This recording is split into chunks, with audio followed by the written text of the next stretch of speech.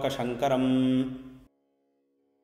ವಿಘ್ನರಾಜ ವಿಶುದ್ಧವಾಣಿ ವಿಶಿಷ್ಟ ವಿಷ್ಣು ವಿಶೇಷ ಶಂಕರ ವಾಯು ಜಲ ಗಗನ ಅನಲ ಅಣು ಓಂಕಾರ ಬ್ರಹ್ಮಾಂಡ ಆದಿಮಧ್ಯ ಅಂತದ ವ್ಯಾಪ್ತಕ್ಕೆ ಸಚ್ಚಿತ್ ಆನಂದ ಆತ್ಮಜ್ಞಾನಕ್ಕೆ ರೂಪು ನೂರರ ಶುದ್ಧ ಚೈತನ್ಯಕ್ಕೆ ನಮೋ ನಮಃ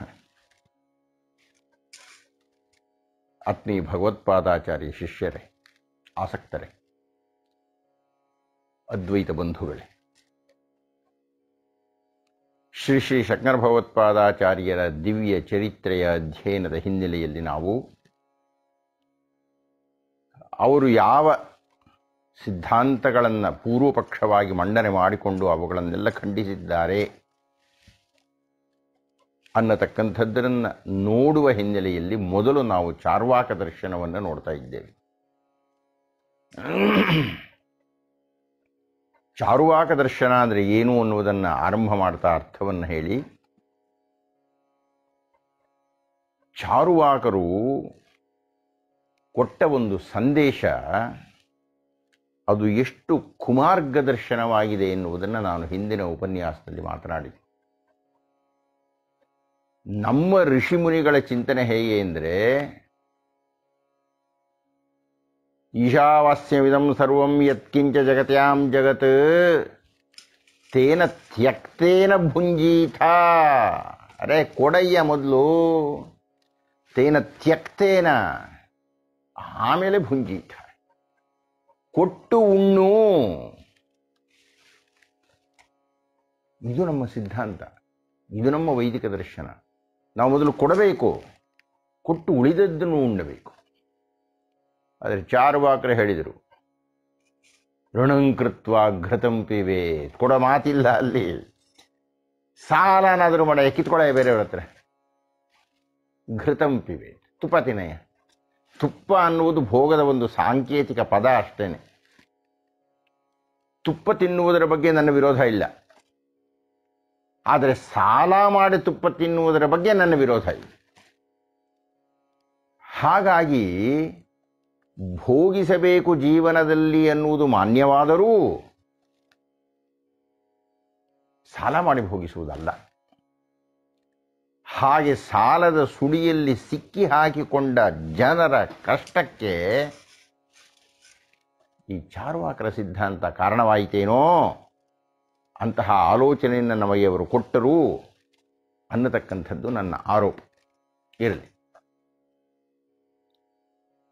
ಚಾರುವಾಕ ಅಥವಾ ಲೋಕಾಯತ ಅಥವಾ ಭೌತ ದರ್ಶನ ಇತ್ಯಾದಿ ಏನೇನೋ ಹೆಸರುಗಳಿಂದ ಅದನ್ನು ಗುರುತಿಸ್ತಾರೆ. ಹೌದು, ಈ ಚಾರುವಾಕ ದರ್ಶನ ಅನ್ನತಕ್ಕದ್ದು ನಮ್ಮ ಎಲ್ಲ ಬೇರೆಯ ದರ್ಶನಗಳಿಗಿನ್ನ ಪ್ರಾರಂಭದಲ್ಲಿಯೇ ಬಂದದ್ದು. ಮೊಟ್ಟ ಮೊದಲ ದರ್ಶನ ಅದು ಆ ಅರ್ಥದಲ್ಲಿ. ಅದು ಕಾರಣವೇ ಜೈನರಾಗಲಿ, ಬೌದ್ಧರಾಗಲಿ, ಪೂರ್ವಮೀಮಾಂಸಾಚಾರ್ಯರಾಗಲಿ, ಯೋಗಿಗಳಾಗಲಿ, ನಾವಾಗಲಿ, ನಾವಂದರೆ ಉತ್ತರ ಮೀಮಾಂಸಾಚಾರ್ಯರು, ಅವರಾಗಲಿ, ಎಲ್ಲರೂ ಅದನ್ನು ವಿರೋಧಿಸಿದ್ದೇವೆ. ವಿರೋಧಿಸಬೇಕು. ಯಾಕೆ? ಯಾಕೆ ವಿರೋಧಿಸಬೇಕು ಅಂದರೆ ಅವರು ಹೇಳತಕ್ಕಂತಹ ಪ್ರಮೇಯಗಳನ್ನು ವಿರೋಧಿಸಬೇಕು. ಆ ಪ್ರಮೇಯಗಳೇನು? ಏನು ಚಾರ್ವಾಕರ ನಿಲುವು ಅನ್ನುವುದು ನಮಗೆ ಗೊತ್ತಾದರೆ ಅವರು ಯಾವ ವಿರೋಧಿ ನೆಲೆಯಲ್ಲಿ ತೀವ್ರವಾಗಿ ನಿಂತಿದ್ದಾರೆ ಅನ್ನುವುದು ಗೊತ್ತಾಗುತ್ತೆ. ಈ ಚಾರುವಾಕರ ಪ್ರಮೇಯಗಳನ್ನು ನೋಡುವ ಮುನ್ನ ಅದರ ಆದಿಯನ್ನು ನೋಡಬಹುದಾದರೆ ಶ್ರೀಮದ್ ರಾಮಾಯಣದಲ್ಲಿಯೇ ಅಯೋಧ್ಯಾಕಾಂಡದ ಕೊನೆಯಲ್ಲಿ ಜಾಬಾಲಿ ಮಹರ್ಷಿಗಳು ತಮ್ಮ ನಾಸ್ತಿಕ ವಾದವನ್ನು ಮಂಡನೆ ಮಾಡ್ತಾರೆ. ನಾಸ್ತಿಕ ಅಂದರೆ ಅರ್ಥ ಏನಪ್ಪ ಅಂದರೆ ದೇವರಲ್ಲಿ ನಂಬಿಕೆ ಇಲ್ಲದೆ ಇರತಕ್ಕಂಥವನು ಅಂತ ಅಲ್ಲ. ವಾಸ್ತವವಾಗಿ ಒಬ್ಬ ವ್ಯಕ್ತಿಯನ್ನು, ಒಂದು ಧರ್ಮವನ್ನು ನಾಸ್ತಿಕ ಅಂತ ಕರಿಬೇಕಾಗಿದ್ದರೆ ಪ್ರತಿಯೊಂದು ಧರ್ಮಕ್ಕೂ ಕೆಲವು ನಿಯಮಗಳಿದೆ. ಕ್ರಿಶ್ಚಿಯನ್ನರು ಕೆಲವರನ್ನು ನಾಸ್ತಿಕರು ಅಂತ ಕರೀತಾರೆ. ಹಾಗೆ ವೈದಿಕ ಧರ್ಮ ಯಾರನ್ನ ನಾಸ್ತಿಕರು ಅಂತ ಕರೆಯುತ್ತೆ? ಅದಕ್ಕೊಂದು ಮೂರು ಕಾರಣಗಳಿವೆ. ಆಸ್ತಿಕರು ಅಂತ ಕರೆಯಬೇಕಾಗಿದ್ದರೆ ಅವರು ವೇದವನ್ನು ಮಾನ್ಯ ಮಾಡಬೇಕು. ಕರ್ಮ ಸಿದ್ಧಾಂತವನ್ನು ಒಪ್ಪಬೇಕು. ಪುನರ್ಜನ್ಮದಲ್ಲಿ ಮಾನ್ಯತೆಯನ್ನು ಇಟ್ಟಿರಬೇಕು. ಈ ಮೂರು ನಿಯಮಗಳು. ಈ ಮೂರರಲ್ಲಿ ಯಾವ ಒಂದನ್ನು ಒಪ್ಪದೇ ಇದ್ದರೂ ಅವರು ಆಸ್ತಿಕರಲ್ಲ, ನಾಸ್ತಿಕರು ಅಂತ. ಹಾಗೆ ನೋಡಿದರೆ ನಮ್ಮಲ್ಲಿಯೇ ಪುನರ್ಜನ್ಮದಲ್ಲಿ ನಂಬಿಕೆ ಇದೆ ಕರ್ಮ ಸಿದ್ಧಾಂತದಲ್ಲಿ ನಂಬಿಕೆ ಇದೆ. ಯಾವುದಕ್ಕೆ? ಬೌದ್ಧರಿಗೂ ಹಾಗೂ ಜೈನರಿಗೂ. ಆದರೆ ಅವರನ್ನು ನಾವು ನಾಸ್ತಿಕರು ಅಂತ ಕರೀತೀವಿ. ಏಕೆ ಅಂದರೆ ಅವರು ವೇದದಲ್ಲಿ ನಂಬಿಕೆ ಇಲ್ಲ. ಆದರೆ ಚಾರುವಾಕರೋ, ಈ ಲೋಕಾಯತರೋ, ಇವರು ಹೇಗೆ ಅಂದರೆ ವೇದದಲ್ಲಿಯೂ ನಂಬಿಕೆ ಇಲ್ಲ, ಪುನರ್ಜನ್ಮದಲ್ಲಿಯೂ ನಂಬಿಕೆ ಇಲ್ಲ ಕರ್ಮ ಸಿದ್ಧಾಂತದಲ್ಲಿಯೂ ನಂಬಿಕೆ ಇಲ್ಲ. ಹೀಗಾಗಿ ನಾಸ್ತಿಕತೆಯ ಖೇಚರ ಸ್ಥಿತಿಯಲ್ಲಿ ಕುಳಿತಿರತಕ್ಕಂಥವರು ಚಾರುವಾಕರು ಈಗಾಗಲೇ ಹೇಳಿದ ಹಾಗೆ ಶ್ರೀಮದ್ ರಾಮಾಯಣದ ಅಯೋಧ್ಯಾಕಾಂಡದ ಕೊನೆಯಲ್ಲಿ ಜಾಬಾಲಿ ಮಹರ್ಷಿಗಳು ಎಷ್ಟು ತೀವ್ರವಾಗಿ ಆ ನಾಸ್ತಿಕ ಮತದ ಮಂಡನೆಯನ್ನು ಮಾಡ್ತಾರೆ ಎಂದರೆ ಏನೆಯ ಶ್ರೀರಾಮ? ಯಾಕೆ ಇದಕ್ಕೆಲ್ಲ ಬೆಲೆ ಕೊಡ್ತಾ ಇದೀಯಾ? ಇದೆಲ್ಲ ಈ ಪುರೋಹಿತರು ಸುಮ್ಮನೆ ಗ್ರಂಥಗಳನ್ನು ವಿರಚನೆ ಮಾಡಿಕೊಂಡು ಹೊಟ್ಟೆ ಹೊರೆಯೋದಕ್ಕೆ ಮಾಡಿಕೊಂಡಿರ್ತಕ್ಕಂಥ ಕಸುಬು ಅಷ್ಟೇನೆ ಇದೆಲ್ಲನೂ. ಏನು ಅಷ್ಟಕ ಶ್ರಾದ್ದ ಮಾಡಿಬಿಟ್ಟು ಪಿಂಡ ಪ್ರದಾನ ಮಾಡ್ತಾ ಇದ್ದ ಹಾಗೆ ನಮ್ಮ ಪಿತೃದೇವತೆಗಳು ಹೋಗ್ಬಿಡುತ್ತೋ? ಹಾಗೆ ಹೋಗೋದೇ ನಿಜವಾದರೆ ಮಹಡಿಯ ಮೇಲೆ ಒಬ್ಬ ಮನುಷ್ಯ ಕೂತಿದ್ದರೆ ನಾನು ಕೆಳಗೆ ಅವರಿಗೆ ಊಟಕ್ಕೆ ಬಡಿಸ್ಬಿಟ್ರೆ ಆ ಊಟ ಅವ್ರಿಗೆ ಸೇರಿಬಿಡುತ್ತೋ? ಇದೆಲ್ಲ ಸುಳ್ಳು. ಇದೆಲ್ಲ ಪುರೋಹಿತ ವರ್ಗ ಕೇವಲ ದುಡ್ಡನ್ನು ಸಂಪಾದನೆ ಮಾಡುವ ಕಾರಣದಿಂದಾಗಿ ಬರೆದುಕೊಂಡಿರತಕ್ಕಂಥದ್ದು. ಸ್ವರ್ಗ ಇಲ್ಲ, ನರಕ ಇಲ್ಲ, ಅಪ್ಪ ಇಲ್ಲ, ಮಗ ಇಲ್ಲ, ಅಣ್ಣ ಇಲ್ಲ, ತಮ್ಮ ಇಲ್ಲ, ಯಾವುದೂ ಇಲ್ಲ. ಇದೆಲ್ಲ ನೀನು ನಂಬೇಡ. ಅಂತ ಶ್ರೀರಾಮರಿಗೆ ಜಾಬಾಲಿ ಮಹರ್ಷಿಗಳು ಉಪದೇಶ ಮಾಡ್ತಾರೆ. ನಾಸ್ತಿಕ ಮತವನ್ನು.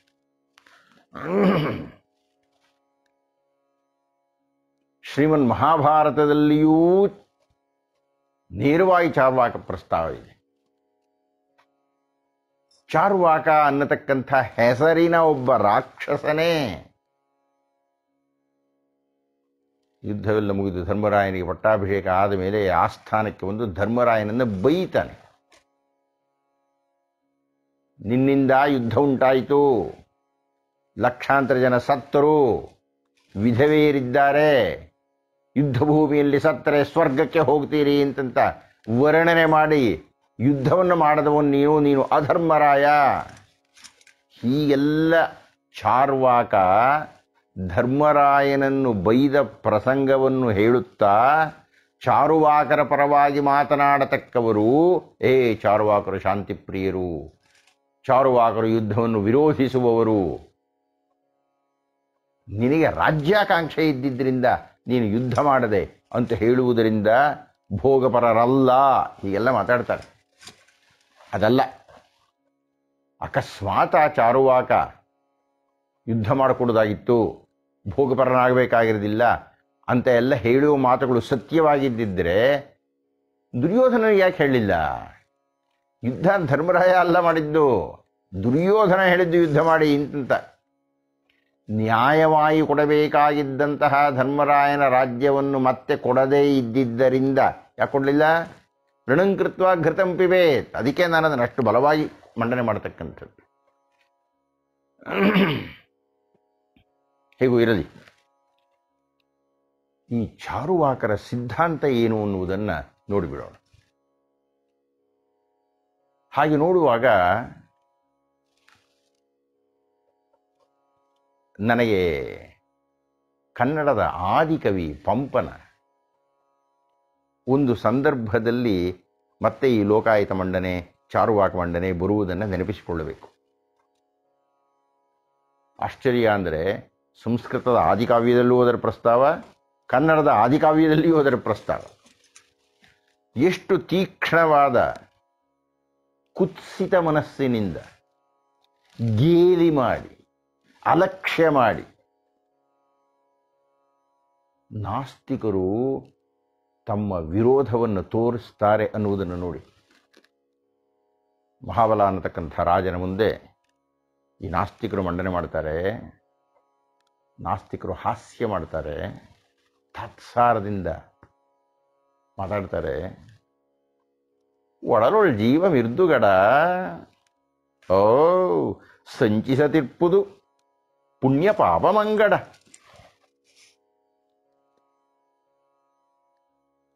ಬೇರೆ ಪೆರತೊಂದು ಒಡಲೊಳ್ಗಡ.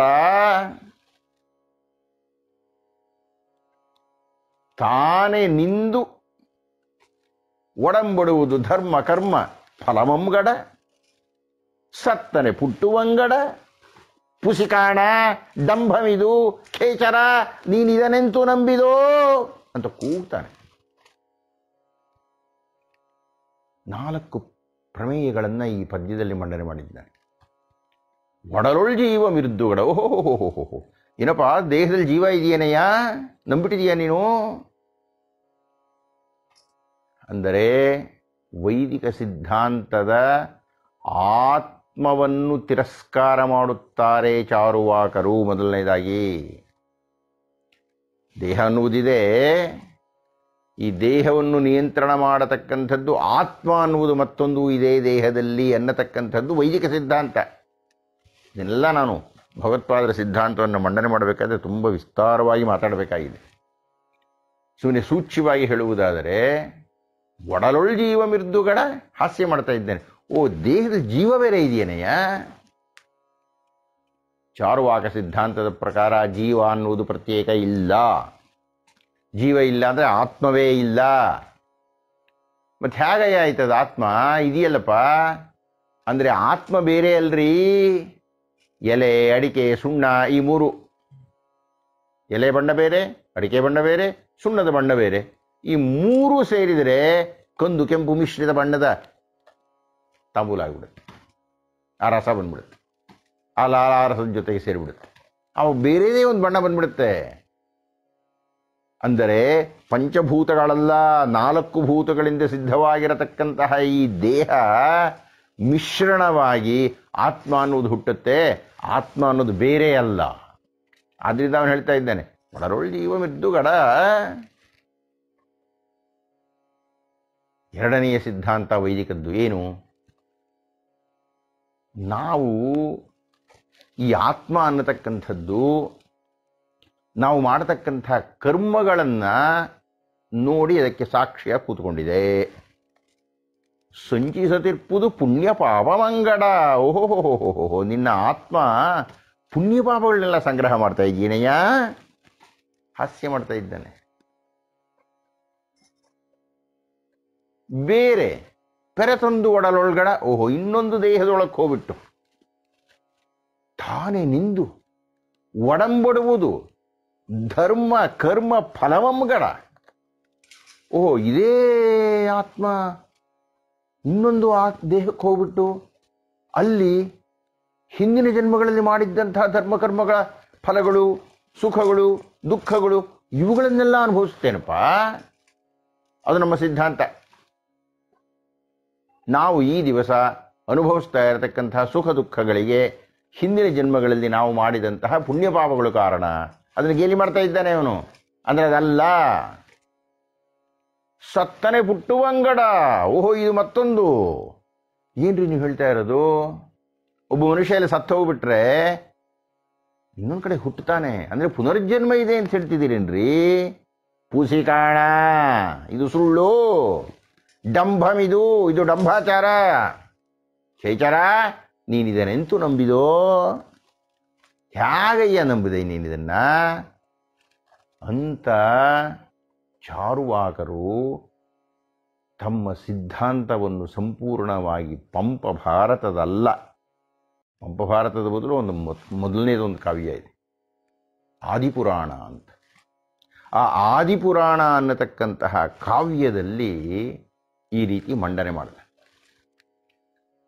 ಅಂದರೆ ಕನ್ನಡದ ಮೊಟ್ಟ ಮೊದಲನೆಯ ಕೃತಿಯಲ್ಲಿಯೇ ಇಂತಹ ಒಂದು ದಾಖಲಾತಿಯಾಗಿದೆ.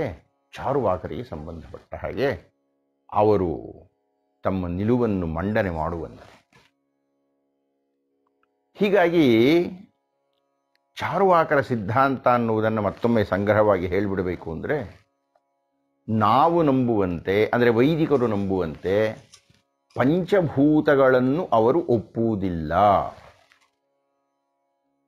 ಅವರು ಒಪ್ಪತಕ್ಕಂಥದ್ದು ಏನಪ್ಪ? ನೀರು, ಗಾಳಿ, ಬೆಂಕಿ, ಭೂಮಿ ಮುಗೀತು. ಆಕಾಶ ಇಲ್ಲ.